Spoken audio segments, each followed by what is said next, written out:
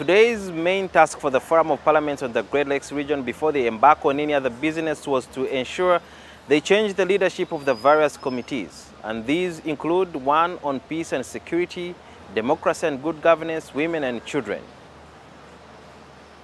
among others. The first committee to change leadership was that one on democracy and good governance, and there were two candidates, one from Kenya and Zambia, and each of the candidates were given an opportunity to explain why they need to take up the leadership. With my experience as one of the negotiators on many programs of financing in Kenya, I will support this organization. I come from a country, all of you know Zambia, which has been on the international fora uh, for its good and good governance practices, and I would love to bring that to the committee.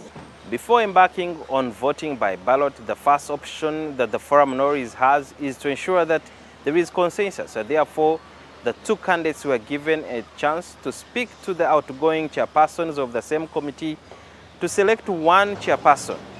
However, when the outgoing committee selected the candidate from Zambia to be the chairperson, the contender from Kenya was not happy and therefore he asked that the entire representation from the various states makes a decision on that matter. When they opted to go for a ballot, the Kenyan legislator Mugambi Murithania became the chairperson of the Committee on Democracy and Good Governance. The Secretary General of the Forum shared why it is important to select new leaders of the various committees. These committees are very significant because along the way, when we do these activities, we come up with proposals or resolutions uh, that we then share with the member parliaments. For instance, if we go for election observation and we observe something that is positive, we come up and encourage other member members, states through member parliaments to make use of them. If we see something that is not good, we also advise and uh, we advise those that are concerned.